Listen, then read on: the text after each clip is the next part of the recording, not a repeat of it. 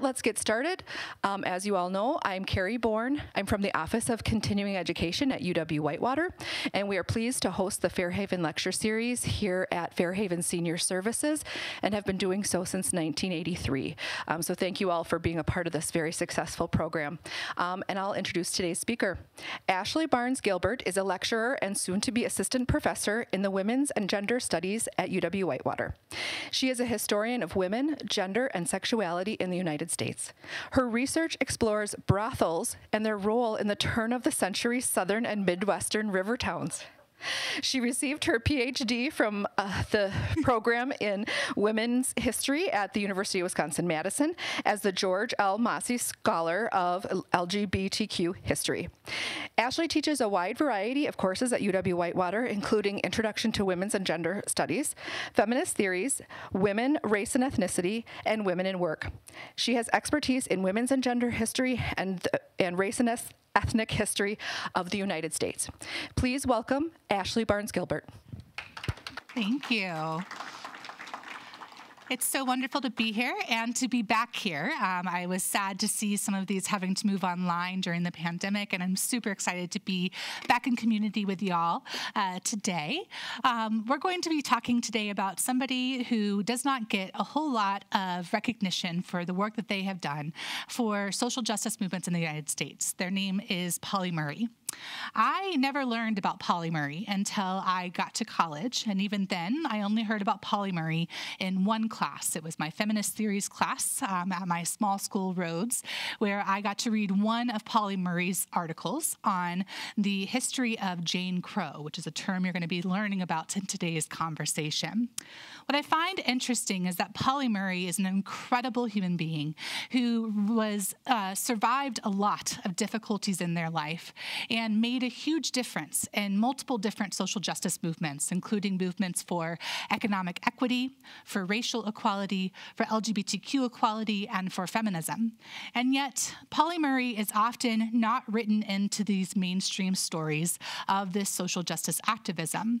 And the question I want to ask in particular for today's conversation is why, and how can we recover the beautiful life of Pauli Murray to explain more about what it means to live at the intersections of oppression and to fight for a more just and equitable world.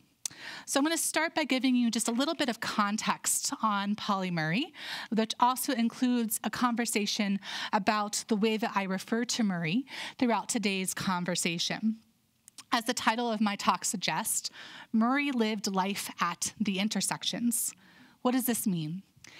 Intersectionality indicates that a person experiences oppression not just because of one social location, but instead from multiple sites, places that are intersecting and shaping their ability to navigate the world both interpersonally and institutionally. The term itself is going to be a part of today's conversation. The reason why is because Murray is one of the earliest scholars, lawyers in particular, who gave us evidence of the need to recognize intersectional social positionings, particularly within the law. But yet, Murray is not credited for their work as a Black person. Murray wrote about this issue because they themselves experience a multifaceted identity. They were widely identified by many people as being African American, although they identified more often as being Black. They talk in their autobiography called Proud Shoes about how they have a diverse racial background. Their ancestors include both freed and um, enslaved Black persons, white slave owners, Indigenous persons, Irish people, and more. In their um, autobiography, they talk about how when their family comes together for a family reunion, it's like a United Nations in miniature. In addition, Murray was part of the LGBTQ community. As a historian, identifying an LGBTQ person in the past can be quite difficult because the language surrounding LGBTQ lives has shifted. In Murray's life, as I will discuss, it's clear that Murray dealt with both gender dysphoria, meaning they did not identify with the gender they were assigned at birth, which was female, and did not identify as being heterosexual. But historians, museums, and even politicians have really struggled and debated about how they can identify Murray because of this evidence.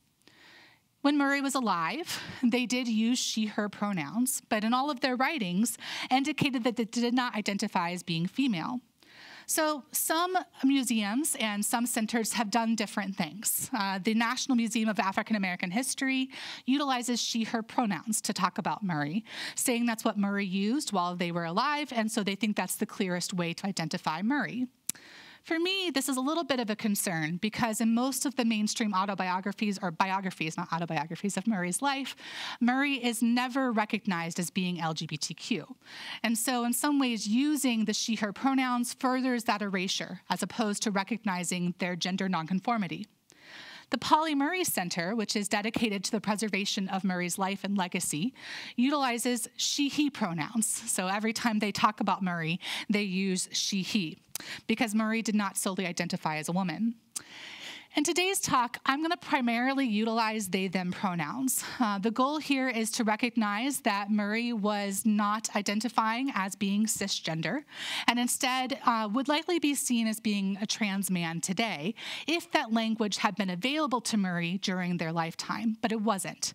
And so, to try to make sure that we render the full complexity of Murray's life visible, I'm going to use they them pronouns throughout today's conversation, recognizing this isn't a perfect solution, but one that helps us recover a bit more about Murray's life and life at the intersections. We really can't know exactly how Murray would identify today, but part of the significance of their life does lie in the fact that they belong to the LGBTQ plus community, and so it's important to make that visible in today's conversation. In today's talk, I'm going to demonstrate how Murray contributed to several social justice movements in the 20th century. Most of their work predated others, including lunch counter sit ins, challenging segregation on public buses, writing about the intersections of sexism and racism, and fighting for economic, racial justice, feminism, and LGBTQ equity. But they've largely been written out of these stories, both when they were alive and also now posthumously after they have passed on. One of the reasons why I argue they've been written out of these stories is because of a kind of politics called respectability politics. This is the idea that social justice movements should put forward the people who experience the least amount of oppression and might be the most sympathetic to those who don't support their cause. Murray was no such person. Murray challenged all the norms of their era. Murray challenged racial norms, Murray challenged gender norms, Murray challenged sexual norms, Murray challenged political norms. And so Murray was not seen as being respectable. And in that process, Murray has been left out of stories about the long civil rights movement, stories about the history of American feminism, stories about the rights of LGBTQ equity. And I hope through things like this talk and other forms of writing, we can start engaging in the recovery of Pauli Murray and the full complexity of their life. So, to start, we're going to go to Murray's childhood. Murray has a really difficult, tragic life to uncover. We have a picture here on the right hand side with a nice purple, um, indicating who Murray was among their family. They were the fourth of six children.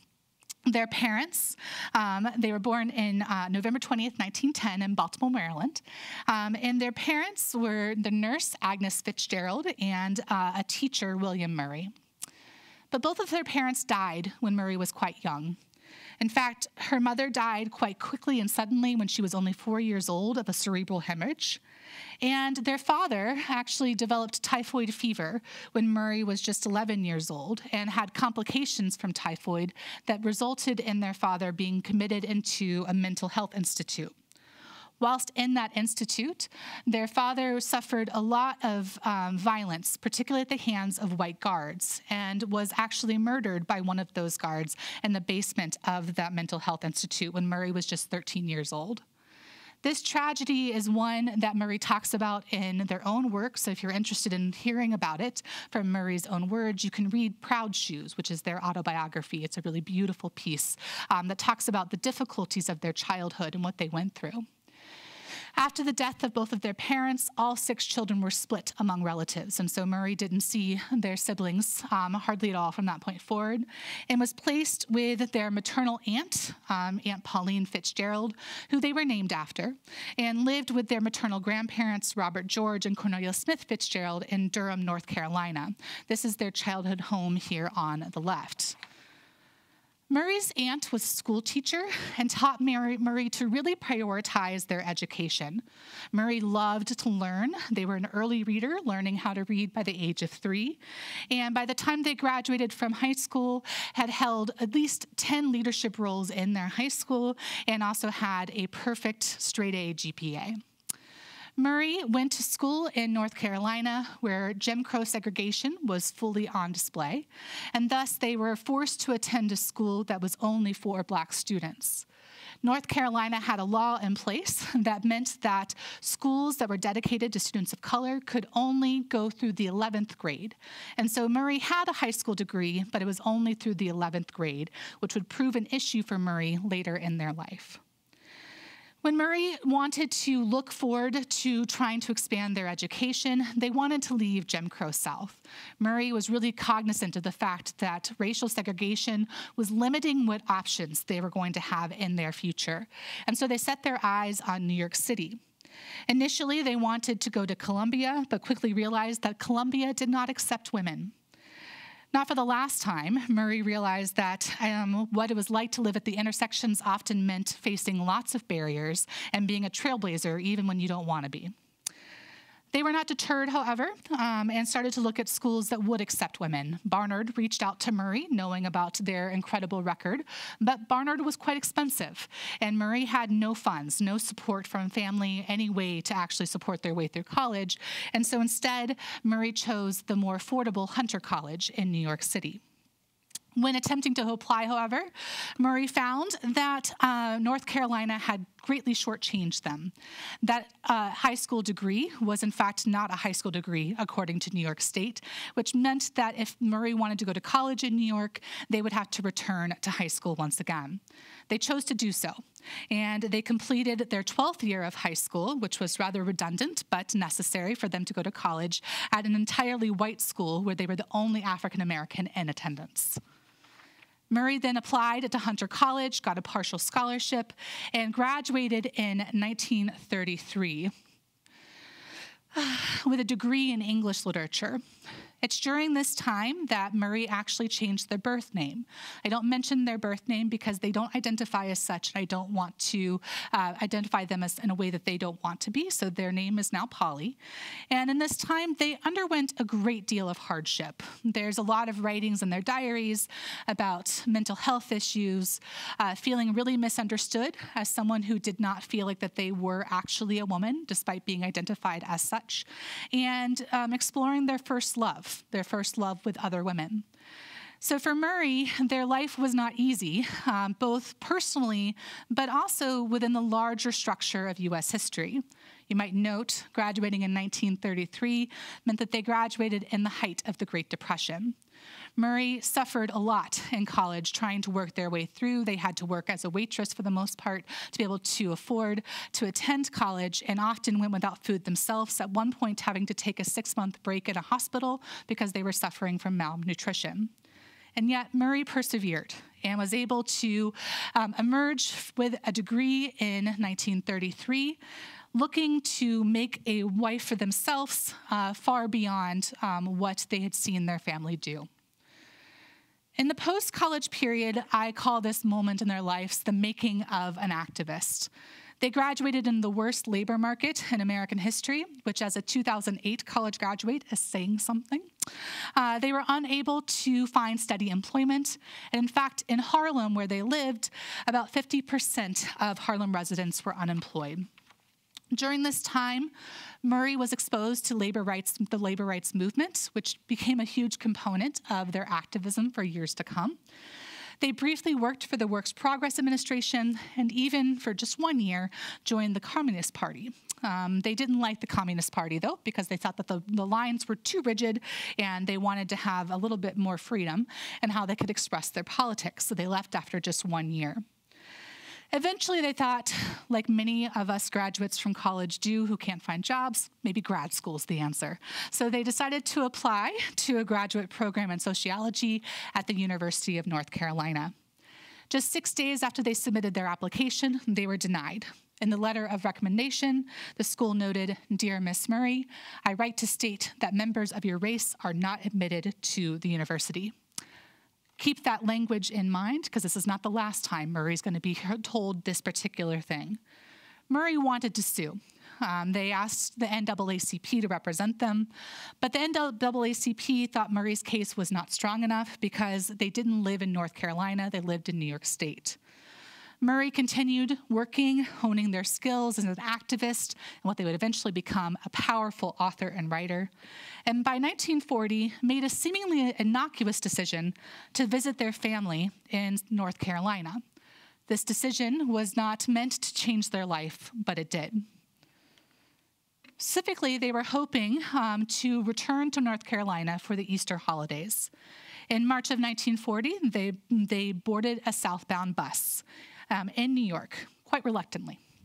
Um, they brought one of their best friends along with them, and they were hoping that they would have a nice trip to Durham without too much difficulties navigating the Jim Crow South. But of all the segregated institutions in the South, Murray has often been well known as saying that she hated the bus the most. She said that the intimacy of the space, quote, permitted the public humiliation of black people to be carried out in the presence of privileged white spectators who witnessed our shame in silence or indifference. After changing buses in Richmond, Virginia, Murray and their friend found themselves on a bus where the seats in the segregated section were broken. So there was no way for them to actually sit in the section that was designated for people of color. As such, they moved to the whites only section. In their own retelling of this event, Murray noted that their friend um, and them had been having a conversation about the best practices for protesting injustices. Gandhi and nonviolence resistance had been a predominant part of that conversation. And thus, when the bus driver asked them to move, they refused. The driver called the police, they dragged them off the bus, threw them on the ground, and Murray and their friend were thrown in jail. This time, the NAACP responded. They wanted to use Murray's case to challenge the constitutionality of segregated interstate travel. But Virginia lawyers were smart and they wanted to avoid such a challenge. So they charged Murray and their friend with solely a local ordinance of disorderly, conduct. And Murray was found guilty, was fined $43, which they did not have, and was sent back to jail for a week. When Murray was released, they were incensed and vowed to never return to Virginia again. That was not a promise they would keep, as we'll talk about here in a moment. This was the first case of many for Murray. They began their journey as an activist through the violence of state segregated institutions and slowly began to perform their form their perspectives about what it meant to challenge oppression at the intersections for all persons, not just for themselves. Six months after this arrest, Murray began work on a very famous case of Odell Waller. Murray found themselves back in Virginia, much against their will. They didn't want to be there, but the Workers' Defense League had said, We really need you to raise money for this young man. He has been wrongfully convicted, he's imprisoned in Virginia, and he's going to be executed within six months. So Murray, in the hope of helping Waller, returned to Virginia.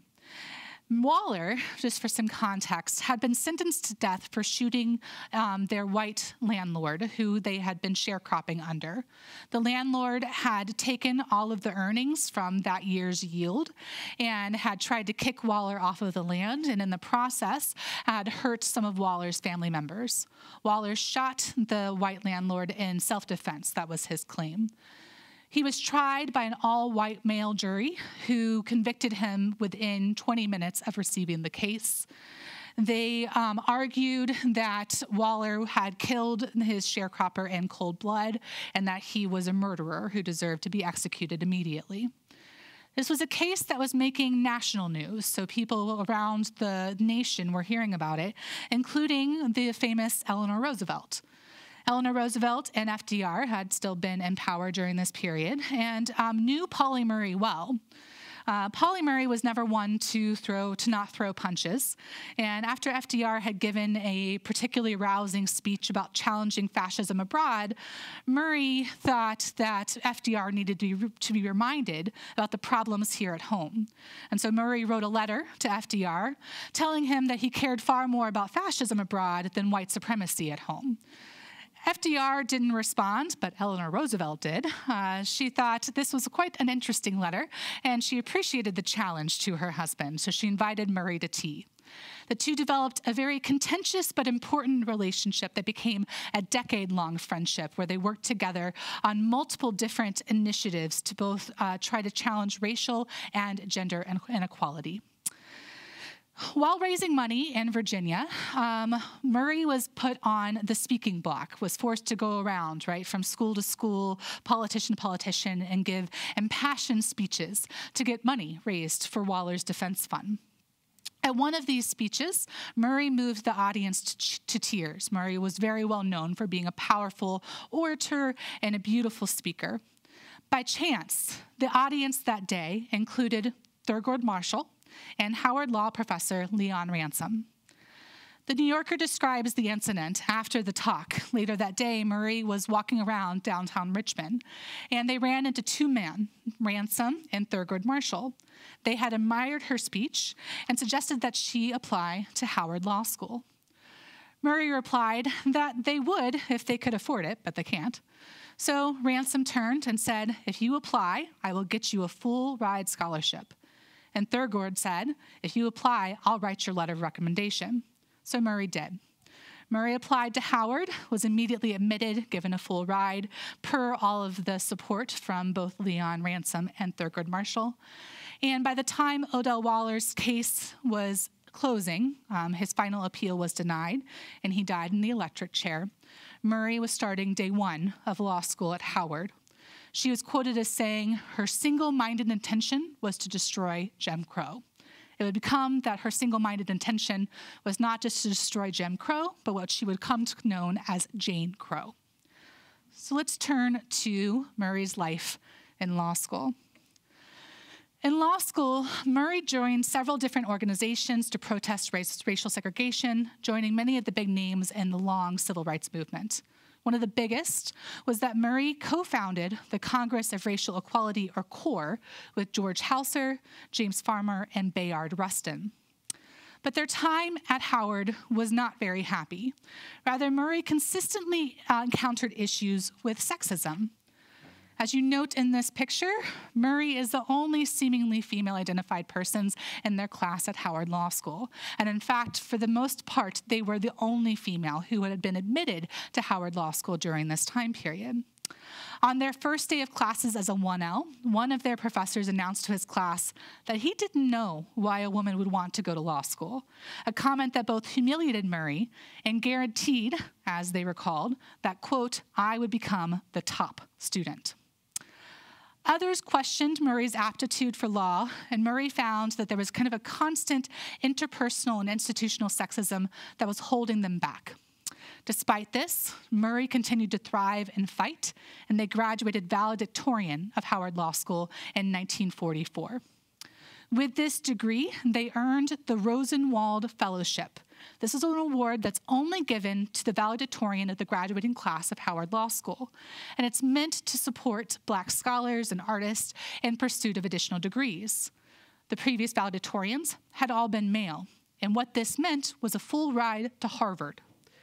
But for Pauli Murray, that was not the case. Murray applied to Harvard and was immediately rejected, just like at UNC. She received a letter that read very similar to the letter she received from the University of North Carolina, and it said, You are not of the sex entitled to be admitted to Harvard Law School.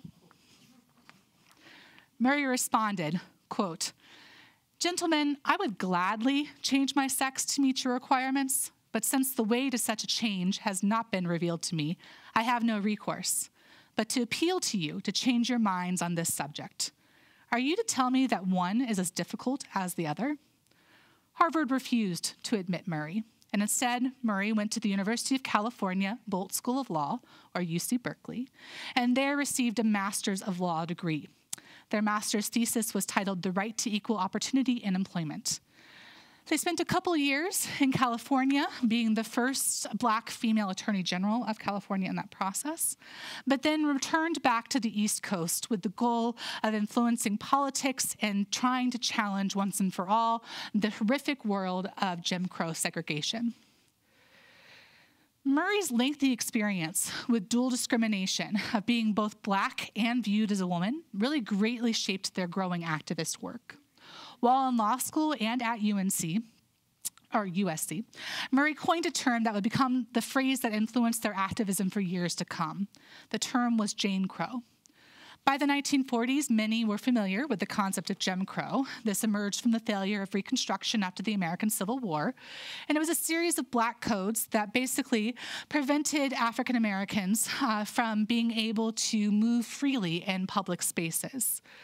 Rather than have freedom, many African Americans found themselves yoked to new threats, ranging from criminalization to racialized violence to legal segregation laws that really limited their movements and rights. Murray had been fighting Jim Crow, largely through challenging racial segregation in public spaces. They predated the protests by Rosa Parks um, by about 20 years, right, with their, their protest on public segregation um, buses. Yet Murray found that no one seemed to be discussing how Jim Crow differed for black women. Murray is quoted as saying the following Black women historically have been doubly victimized by the twin immoralities of Jim Crow and Jane Crow. Murray added that black women faced with these dual barriers have often found that sex bias is more formidable than racial bias. Murray lived life at the intersections of racism and sexism, and Murray's experiences with systemic oppression cannot be limited to just one aspect of their identity. Murray has to be understand, understood as experiencing oppression from multiple locations, really limiting their abilities to move in the world and also shaping their resilience and fight to belong. Throughout their career, many things changed for Murray. They had a really hard time finding steady work, and in fact, it was almost impossible for them to hold down a job for more than two years, um, often being let go or replaced uh, by someone who was white or someone who was male, or usually both. Throughout their career, though, one thing remained constant in Murray's life, and that was their pen. Murray was a prolific author who has written multiple different law review articles, multiple different books, books of poetry, and more. One of those was in 1951, where Murray published states' laws on race and color. This was uh, considered to be a definitive work on challenging state segregation laws. The project was actually commissioned by the Methodist Church, the women's division of the Methodist Church in New York City. They opposed segregation and they wanted to figure out if they could legally challenge it in some way, right, in the 31 states where they had parishes. So they hoped that Murray, they were going to pay her about $20 to create a small six page pamphlet that they could pass out to these different 30 um, institutions, these 30 states, right? Um, Murray did not create a six page pamphlet. They wrote a 746 page book uh, that was published in 1951.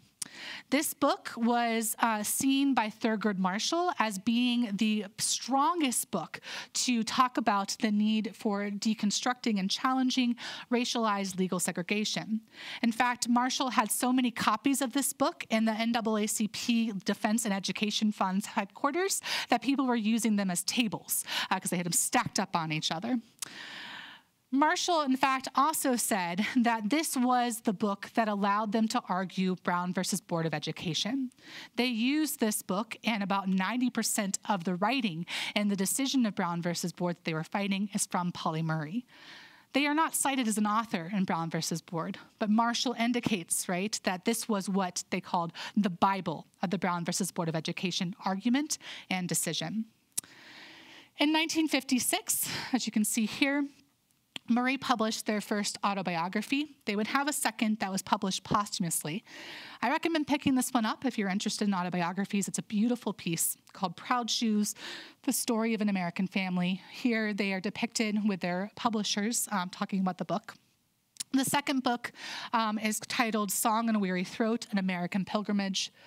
Both are not easy to read, right? Murray's life was not an easy life, and there's a lot of trauma um, in their experiences, but they're powerful, beautifully written pieces that allow us to recover the stories of people who've experienced racialized harm, sexism, homophobia, and more. So I recommend uh, picking, picking up this piece. Murray bounced around different careers, even teaching law at the University of Ghana for five years, but their pen remained their constant. By the 1960s, Murray had become a well known activist, challenging not only the racism of white people, but the sexism of civil rights activists. While in Ghana, Murray was writing critiques of the civil rights movement from afar, especially critiquing Murray's old friend, Bayard Rustin. There was an amazing March on Washington that most people were celebrating as an incredible advancement in the long civil rights movement. But Murray disagreed.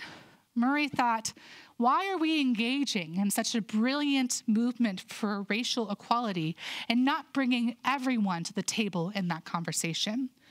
In one letter to Rustin, she noted the following It is indefensible to call a national march on Washington and send out a call which contains the name of not a single woman leader. I have been increasingly perturbed over the blatant disparity between the major role which Negro women have played and are playing in the crucial grassroots levels of our struggle and the minor role of leadership they have been assigned in national policy making decisions. Murray called out the um, leaders of the civil rights movement on their sexism. They noted that you're willing to use, even exploit the work of female leaders in our local communities to build up your movements, but never raise them up to be part of the national leadership of the civil rights movement. This didn't make Murray many friends, but it did make others take notice of her. One of those was President Kennedy who realized that Murray was doing something different than others in their critique. Murray wasn't just interested in kind of the status quo, but really pushing the movement to be as intersectional as possible. And so Kennedy actually appointed Murray to the Committee on Civil and Political Rights as part of the Presidential Commission on the Status of Women. And it's through this work that Murray started to work on the Civil Rights Act of 1964.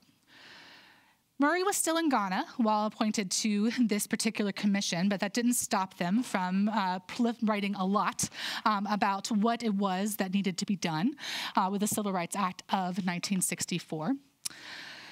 Murray was among a group of feminist lawyers who were developing legal strategies to move forward on women's rights. There was a lot of debates happening about this landmark civil rights legislation, and this group of women wanted to really seize on the chance to provide some legal protections for women that had not been in place so far. The word sex was actually a last minute addition to Title VII, which prohibits workplace discrimination of the House's version of the Civil Rights Act. And it was expected to be removed by the Senate. The initial wording of this particular amendment said that you could not engage in employment discrimination according to a person's race, color, religion, or national origin. The amendment added in sex. This group of feminist lawyers tapped Murray to write a memo in support of retaining sex that would be sent to lawmakers and to White House officials. The remaining work became one of Murray's most famous. Um, it was a George Washington Law Review article. You can still purchase it. Um, it's about 70 pages, so you can buy it on Amazon if you want to. Um, and it's titled Jane Crow and the Law, Sex Discrimination, and Title VII. The article highlighted comparisons between laws that discriminated on the basis of race and those that discriminated on the basis of gender arguing that the application of the Civil Rights Act of 1964 could be used to combat both forms of discrimination, not just one. This particular work is thought of as being foundational to the challenge of the law to be more intersectional. But today, Murray is rarely recognized with this, with this um, contribution. Today, when people talk about intersectionality in the law, they cite renowned and incredible activist and employment discrimination lawyer, Kimberlé Williams Crenshaw. But Crenshaw, who coined the term intersectionality in the late 1980s, was working off of Pauli Murray. And Crenshaw doesn't often recognize that they owe a lot of debt to Pauli Murray. But if we really want to provide a context for how the fight to make the law more intersectional has occurred, we have to give Pauli Murray their due. They are the origins of this battle. In 1965, Murray decided to return back to the United States. They wanted to earn their Doctor of Jurisdictional Science. As I said, they really liked to get an education, and they went to Yale Law School for doing so. At Yale, Murray mentored several young female activists, including Marian Wright Edelman, Eleanor Holmes Norton, Patricia Roberts Harris, who all became leaders in their own right. In addition, she began to form a relationship with the late Ruth Bader Ginsburg. In this time, she started to get really frustrated about how little progress that she felt and others felt that women were making towards equity in the United States. Murray gave a speech in New York that uh, argued that women should march on Washington, just like African Americans had done just a few years before. The suggestion was met largely with raised eyebrows, except for one person, Betty Friedan. Betty Friedan called Pauli Murray and invited Friedan Murray to a conference on women's rights. Friedan, if you don't know who she is, was the author of The Feminine Mystique. And 1965 was probably one of the most famous, well-known feminists of her time. The Feminine Mystique was a New York Times bestseller. It was published in 1963. And in it, Friedan talks about the unhappiness of white upper class women who had become housewives and were not really doing more with their lives besides raising children and being wives. And she wanted to think about the sexism of US culture and the limitations that women had during this era. Murray and Friedan began to hatch a plan to form what was known, what Murray called the NAACP, but for women. In June of 1966, they went to a conference on women's rights and then all met afterwards in Betty Friedan's hotel room. It's there that they launched the National Organization for Women, or NOW. Initially, this organization was meant to be a group that would provide free legal representation to women who are experiencing sexist discrimination in employment. But eventually, and today, it's one of the most, the largest women's organizations in existence. It's still in existence today, um, and it's an international women's rights organization that uh, was a big part, is, is in big part in existence because of the work of Pauli Murray. But once again, Murray found that although found the founder of NOW, which is what people call the National Organization for Women, um, they didn't have a home there. Instead, Murray's time with NOW was quite short lived. Murray found that the organization was consistently sidelining all issues that had to do with racial inequity and economic injustice. It seemed like her friend, who she thought was her friend, Betty Friedan, wasn't interested in talking about issues that had to do with racism and sexism. And instead, as Murray talked about, the NAACP for women that she so passionately had created had become an NAACP for professional white women. Murray left and was very disillusioned with social justice work in general. In particular, Murray wanted to find a place and a home that would accept all of who Murray was, not just portions of who Murray was. And one of the things that I find interesting about Murray's parting from NOW is that today the National Organization for Women still does not cite Murray as being one of their co founders. Murray has been written out of their history. I argue part of that is because there's a desire to make sure that Betty Friedan still looks good and Betty Friedan was not only racist and classist in her approach to social justice work, she was also deeply homophobic. Many biographers don't want to recognize that Pauli Murray was queer. Pauli Murray was in love with other women. At the time of 1966, had been in a relationship with another woman for 20 years. This is a big part of Murray's life. And at this time that she was building this organization with Betty Friedan, Betty Friedan was going on a national speaking tour saying that gay and lesbian persons were a threat to the nation, that they were not to be trusted. And she called lesbians in particular the lavender menace. When people talk about Murray's life, they forget that Murray was in fact LGBTQ identified. And they don't recognize that the harm that Friedan did was not just because of racism or classism, but also because of homophobia. Murray left because she was being personally attacked at every corner by one of her dearest friends who was destroying the organization she had dreamed of for years.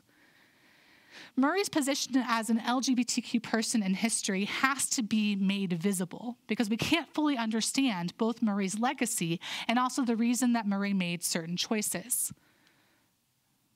Murray, as I've indicated throughout this talk, is somebody whose gender and sexuality is not entirely clear, especially if we don't want to be anachronistic in how we apply LGBTQ concepts to Murray. And most of Murray's writings, this conversation, or writings about Murray, people leave this conversation entirely out. Some of the biggest biographies of Murray's life don't mention it at all, even though Murray was in long term relationships with women for majority of their life and talked extensively in their private writings about not identifying as being female. So here's what we know. In their journals, Murray wondered, and this is a quote, if maybe they were one of nature's experiments, a girl who should have been a boy. Murray sought medical treatment, consulted doctors, particularly talked about how they think they had what was known as an inverted sex instinct, which was the language that most people utilized to talk about gender dysphoria in the 1940s. Murray asked doctors to test their hormone levels to see if there was an imbalance or something physically wrong with them. And Murray asked for gender affirming uh, surgeries and medicine, including testosterone. They never received any of these treatments. They were denied at every turn and pathologized, so much so that Murray felt as though they were monstrous and that they didn't belong in mainstream society. Murray underwent and result as a result from this multiple mental health breakdowns, was constantly battling depression, and really didn't have support for the complexity of who they were in a period that didn't recognize being trans or being LGBTQ as anything other than a mental illness. Murray only married a man once. It was for a very short time. And in their diaries, they talked about how being with a man causes them to feel like they need to fight. Instead, they maintained long term partnerships with women, Peg Holmes and Irene Barlow. Murray didn't identify as a lesbian, though. Um, they were concerned about the connotation of that term. That shouldn't be surprising for you since you saw how Betty Friedan talked about lesbians. It was not a term that people thought of as being um, a happy association. Instead, Murray said that they believed that they were masculine and that they were attracted to women who were attracted to their masculinity. And that's how they identified their sexuality. As a historian of the queer past, it's really hard to know what to do with Murray. You don't want to map current ideas of gender sexuality onto Murray, because that would be anachronistic and further silence Murray's experiences. But it's still important to recognize that Murray was queerly positioned. It's a term that we would use today. They lived, identified, and experienced life outside of the gender binary and outside of heteronormativity. We can't claim exactly to know what Murray would identify as as today, but we do know that their life was at those intersections and that queerness was part of those intersections. Murray wrote extensively about how hard this was for them. Here's one quote from their diary Every time I try to navigate who I am, this conflict rises up to knock me down at every apex I reach in my career. I have asked my doctors, anything you can do to help me will be gratefully appreciated because my life is somewhat unbearable in its present phase. Murray's difficulties demonstrate the sheer resilience needed to survive, let alone thrive, when you live at those intersections of oppression to the nation, activist movements, the world of the law, the educational world, and more, there was constant barriers put in Murray's way. For someone like Murray, every win was a long fought battle, and every turn was fraught with harm, rejection, and depression, harms that were both interpersonal and institutional. And it cannot be ignored that these intersections of oppression ultimately pushed Murray out of social justice work and into their final role of becoming an Episcopalian priest. As Murray battled with Friedan and others for, a far more intersectional national organization for women, Murray's long term partner of 20 years, Irene Barlow, died. They had been together for two decades. and they shared a deep love of social justice work and Christianity. Many people who profile Murray's life don't even mention Irene Barlow or talk about the fact that they lived together for 20 years and that literally five days after her death, Murray did something that most academics would find shocking.